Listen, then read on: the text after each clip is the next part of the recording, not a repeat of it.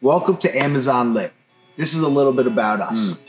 Eric and I had known each other for half of our lives. Uh, we met back in high school when I moved to his town and we connected pretty much right away. Eric's a guy who has similar drive to mine. He loves the hustle.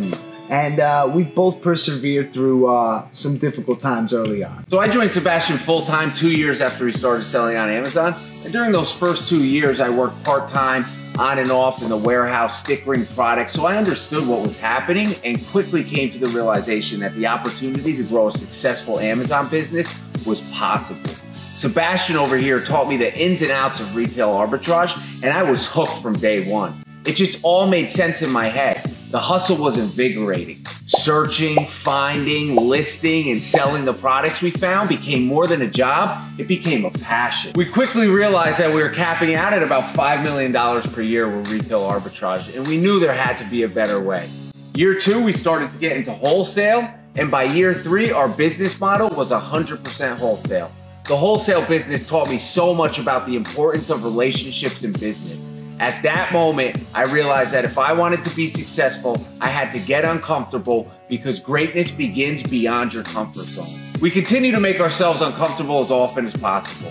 Our success depends upon it. Last year, we made one more revolutionary change, and that has enabled us to continue to grow and make more money.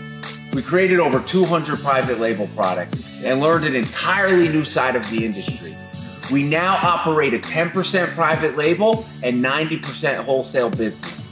And the opportunity for growth is alive and well. Every morning I wake up, I have a decision to make. Am I going to seize the day, work smarter, and take advantage of the moment? Or am I going to squander my opportunity? I choose to use the hours to my benefit and to their fullest potential and build wealth the best way I know how. Pure hustle. You know, I remember actually day one, Eric came into the basement Yeah. and had thought I had lost my mind. Lost he, saw, it. he saw a ton of products down there, and and then when I told him I was going to be selling them on Amazon, he gave me this look. He didn't say it, but the look. That I was know, crazy. I know Eric, so I knew I, I, I knew what that Crazy, look meant. crazy. But uh, I do remember early on in our business, uh, starting off and really just having zero prior experience or knowledge of the retail industry, let alone e-commerce. The best decision I made was to just take action. Take action right away and don't stop. Too many times our fears that that what if, that negative projection halts us in our tracks and we don't jump on an opportunity because we don't know what the outcome will be.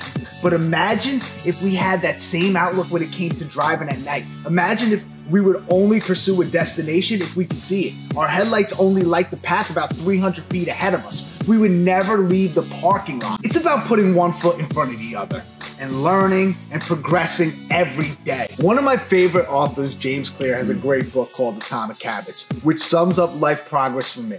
As long as at the end of the day, I can look back and see that I progressed 1%, then I know that today was a successful day.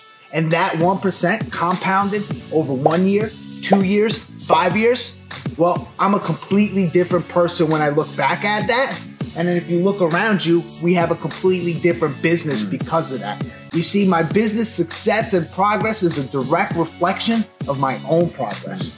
So if you follow us on Facebook, Instagram, or watch our YouTube channel, you'll find that we are big picture guys. We're big picture guys. Nobody goes to college, invest $80,000 in their first year, and then ask the professor, when I'm finished with this course, will I have the Lambo and be filthy rich? So why is so much of social media skewed?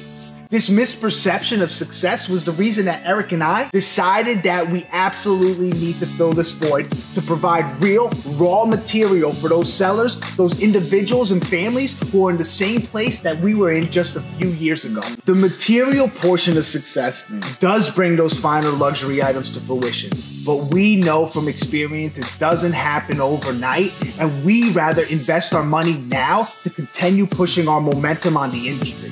This is why when you watch our content, we are always providing content pertaining to the journey of success, always pertaining to the grind. Because you see, the glamour is great, but the grind is real. And the largest portion of life for those who are uber successful is the hustle. This is why we rather show our followers, our virtual family, the path to the goal rather than the pot of gold at the end of the rainbow.